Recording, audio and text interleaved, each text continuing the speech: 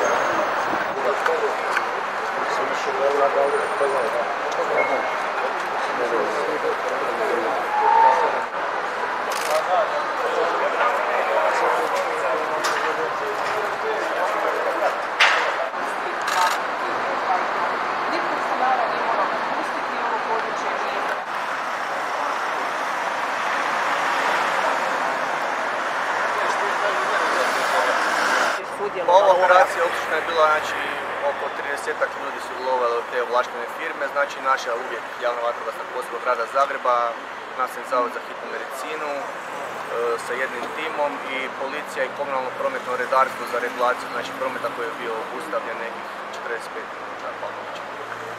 Pa nije, mislim da tvrtke koje se tim bave su, to su sve vrhunski profesionalci.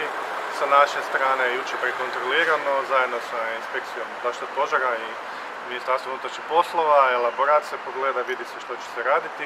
Ono što smo mi napravili smo ono, pokušali predvidjeti najgori mogući scenarij i unaprijed pripremiti nekakvo odbranu sredstvo za gašenje i eventualno spašavanje iz ruševina. Na sreću sve je dobro prošlo.